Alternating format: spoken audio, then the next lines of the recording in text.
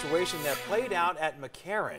Well, you might remember uh, back in 2015, a British Airways plane caught fire uh, just as it was on the runway at McCarran. Marissa Kynaston's been going through the video frame by frame. Marissa, what are you finding? Yeah, the NTSB actually posted that video overnight. That video is from surveillance cameras right here at McCarran that caught the whole thing on camera. Now, we want to get straight to that video for you. You can see smoke and flames coming from the plane and people sliding down the emergency emergency emergency chutes, excuse me, to get to safety. Now, they were just running in sheer panic, hoping the plane didn't explode.